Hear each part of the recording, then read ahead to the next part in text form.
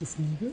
Das ist ja überhaupt das einzige Gesetz, was, ähm, was wir enforcen müssen, was wir wieder bestärken müssen, das Gesetz der Liebe und der Gewaltlosigkeit. Und ähm, deswegen habe ich auch den Ma äh, Martin Luther auf meinem Album drauf, den wir in meiner reformierten Kirche auch durchaus kritisch, kritisch betrachten.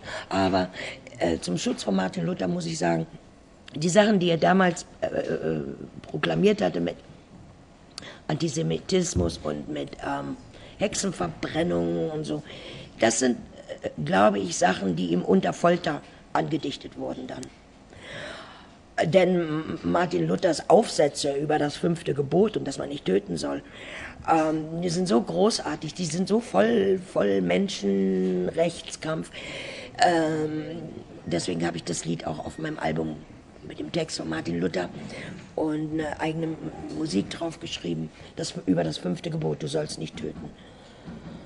Und ähm, ja, wenn wir das, wenn wir das äh, bekräftigen könnten, dieses Gesetz, denn das ist, geht ja einher mit, du darfst, die, die, die Würde des Menschen ist unantastbar, also darfst du einen Menschen nicht töten. Das geht ja Hand in Hand. Deswegen müssen wir einfach dafür sorgen, dass diese Gesetze wieder reinforced werden. Wir machen Law Enforcement.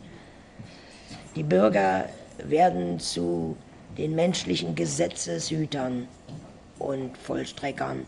Das Gesetz der Liebe muss eingehalten werden. Es muss sich geliebt werden. Ist das nicht toll? Mensch, wenn ich der Diktator wäre. Hat ja George Bush mal gemacht, so einen Witz. Ich würde sagen, Ja. das Ganze